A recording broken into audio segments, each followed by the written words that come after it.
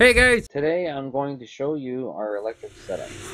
This is my, where my battery bank is. Right? And this is where my inverter is.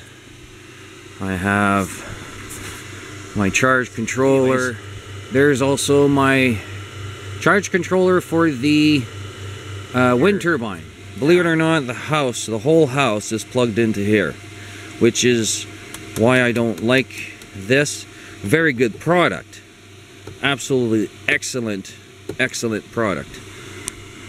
So far, I have not had any problems whatsoever with this thing, and it's been working like a horse for this house and for all of like all the farm, the whole farm.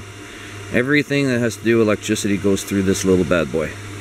So, and it's been more than enough for our needs up to now. But I do see that in the very soon future, we're to have to upgrade this to a full-size system. I'm already kind of starting. All right, so there you go. That's our system. And uh, so subscribe, put your comments down, Or good. See you later. Bye.